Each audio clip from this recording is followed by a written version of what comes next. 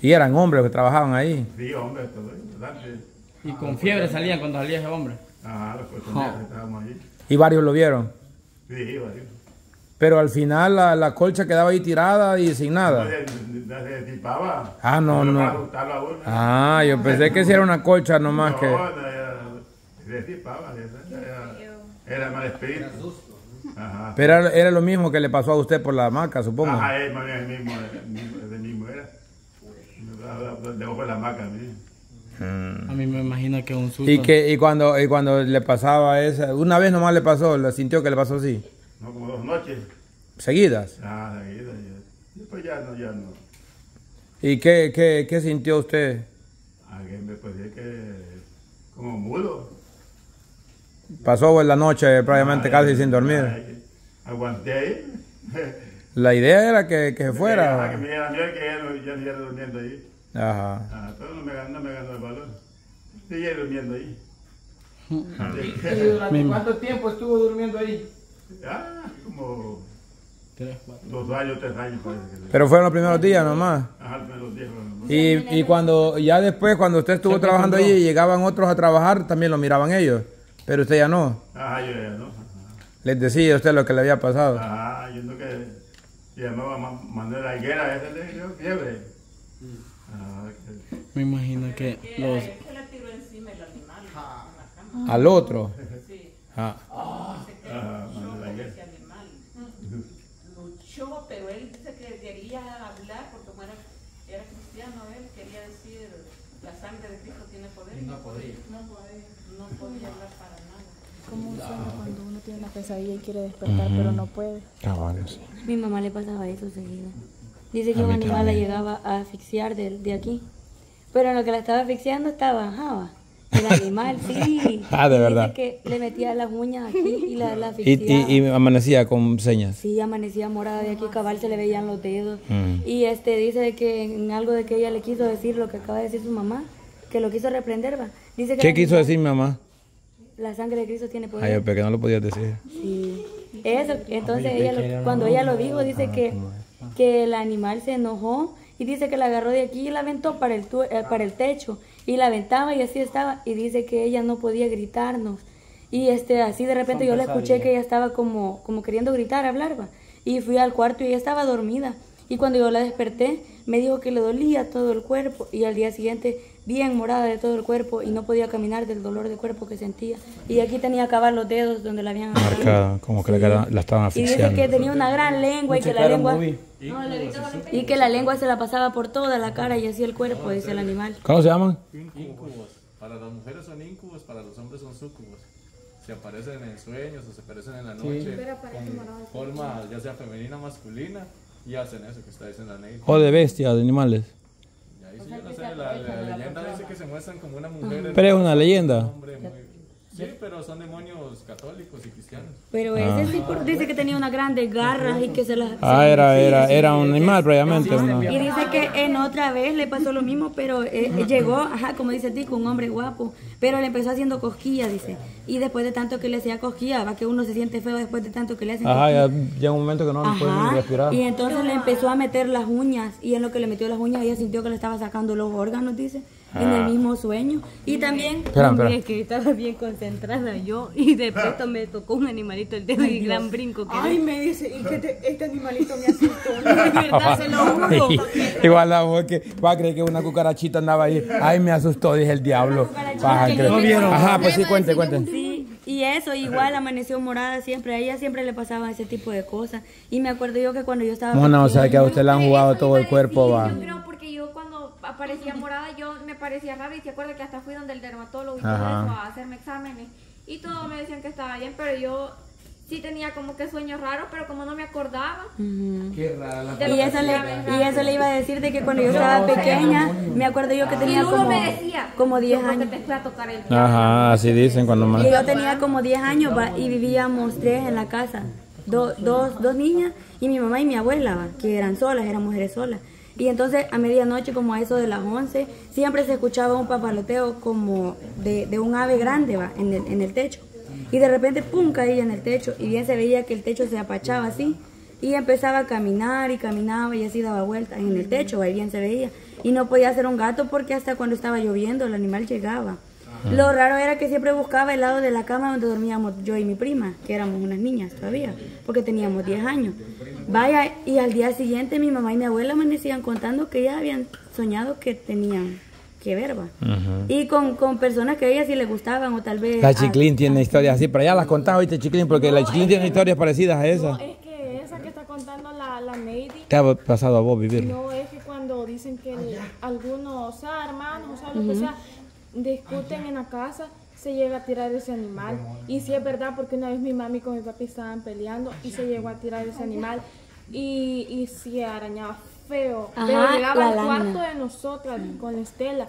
No llega donde están discutiendo ellos, sino que a donde... Pero es que, es que, es que, es que ustedes viven, ustedes viven donde, donde siempre ha salido un animal, ahí. Va, va- va- mamá, ¿se acuerda, se acuerda, se acuerda la historia que contaba la Ana que ahí donde viviendo la niña Josefina, así se llamaba, ¿verdad? Que ahí le salía un animal a ella y se le tiraba encima y lo miraba y todo con los ojos rojos. Ahí por donde vive la Daisy ahorita y la Estela. Sí, ahí en esos terrenos de ahí. Ajá, donde ahora está solo, que es donde, a la parte donde Dina y, y Mauricio. Aquí por la subida. Ajá, por la subidita. Vaya, y ahí, ahí vive prácticamente ahorita la Estela y la, y la Chiclín. O sea, obviamente no en el terreno, pero ahí cerca. O sea que el animal ese tiene que andar todavía ahí ro- rondando por ahí. Entonces ya vamos a ver si la Chiclín y la, y la Estela lo han visto. ¿Qué, qué es lo que miraba la Ana? ¿Se acuerda usted? Solo que era un animal como perro, decía. Pero es que cama y todo el tiempo en la cama. Espere, espere, espere, cuenten la historia. Ajá, eso que Pero lo, lo miraba ella, ¿verdad? Con los ojos rojos, pero dice que era más grande que un, que un, que un perro, era, era como una bestia prácticamente. como en forma de perro, pero así todo peludo. Quizás más semejante, a- eh, más cerca, más cercano a un lobo, quizás así, más peludo, fuerte, ojos rojos. También ahí en la casa llora un niño, pero detrás de ahí de- del cuarto de nosotros, digamos, en la parte de atrás de la casa, ahí llora un niño, pero según es el niño de que a mi tía se le ahogoba. Eh, y, y pero viera qué feo, en una piedrita ahí, este el niño se sienta y llora bien feo y lo llama. O sea, ya nosotros tenemos tiempo de no verlo, va. pero dicen que las personas que pasan pescando ahí ya han visto a ese niño, así que lo llaman. Atrás de la casa. Sí, nosotros cuando llegamos ahí sí lo vimos a ese niño. Eh, Bien sentadito, o sea, pequeño, pero solo se mira blanco, no se le mira ni cara ni nada, y solo lo llama así. Pero sí llora bien feo. Pero, eh, espérame, ¿y ese animal sí lo han visto ustedes? Sí. Así como, como... Que, mire, o sea, cuando anda arriba de la casa, se escucha bien feo, es como que va a pachar la lámina de un solo, pero que literal no hasta se ve que no- aplasta no la es lámina. como una gallina o algo así, sino que es como una. Grande y pesado. Es que sí. Y eso que dice la chiclín, que se van donde, donde pelean, sí es cierto, porque mi mamá y mi abuela todas las noches peleaban. Y cabal, justo cuando nos acabamos de acostar, llegaba el animal. Y como dice la chiclín, hasta se ve que aplasta la lámina donde va caminando. Bien feo. Estela, ¿vos la has visto alguna Estela. vez? ¿Vos has visto un animal allí en las noches? ¿Qué, ¿Qué es lo que has visto ahí por tu casa? No, el animal que dice la Daisy. ¿Cómo lo ha visto, cómo lo ha visto usted? Es que la verdad que yo no lo he visto, pero sí escucho ruidos de. En el techo.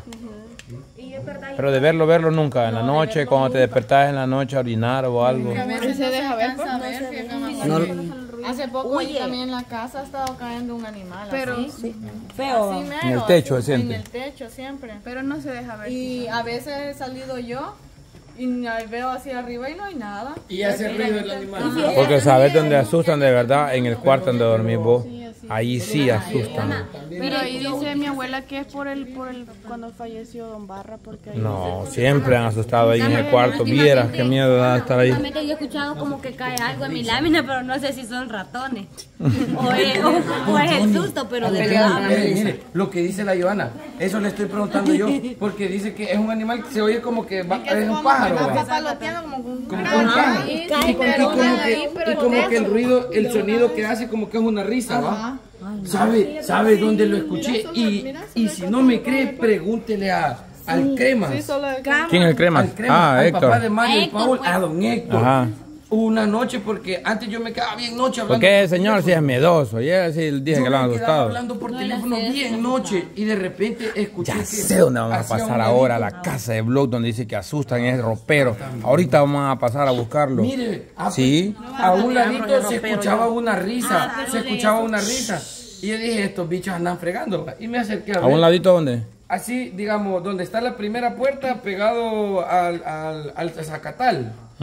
Ya, entonces ahí se escuchaba una risa. Estos bichos andan fregando y dije, y me acerqué a ver, va. Se escuchó al otro lado la risa. Y yo, ¿qué onda? Dije yo, va. Fui a ver, fui a dar la vuelta a toda la casa y solo se escuchaba como que me andaba rodeando, ¿verdad? Y dije, estos bichos fregando me están, va. Y Me fui a acostar y de repente se escuchaba a lo lejos, como que volaba algo y una, el sonido que hacía como que era una risa algo macabra, va. Como, como lo que está describiendo la Joana. Algo parecido.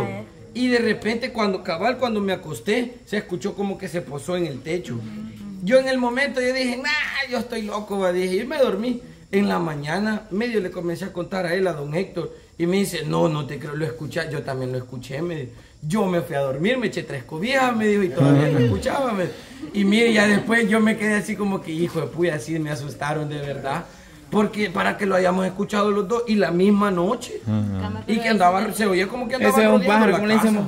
Es que mire, Una gárgola. Pero lo de la casa de blog no lo burleta hizo. lo que hace es que va haciendo sonido y según uno por curiosidad lo va siguiendo y así se lo va llevando. Así lo va perdiendo. El guachaque.